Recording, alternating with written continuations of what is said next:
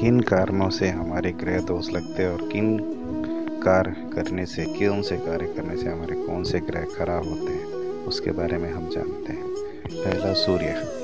सूर्य जूटे हाथ सिर पर लगाने से सूर्य खराब होता है। चंद्र पानी व्यर्थ फैलाने से चंद्र खराब होता है। मंगल क्रोध करने से भी मंगल खराब होता है। बुद्ध झूठ बोलने से बुद्ध खराब होता है।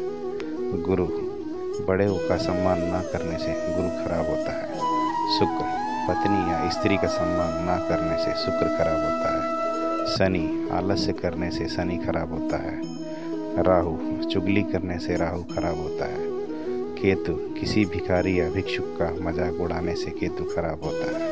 अर्थात ये सब कार्य करने से ये सारे ग्रह खराब होते हैं। इसी के विपरीत, अगर ज्योतिष शास्त्र के अनुसार चले तो जिस किसी भी जातक के स्वभाव में ये सब चीज़ें हैं तो समझना चाहिए कि उसका ये ग्रह खराब है और उसको तुरंत से तुरंत ठीक करना चाहिए। तो ये ज्योतिष की छोटी सी जानकारी है। ओम तत्सत।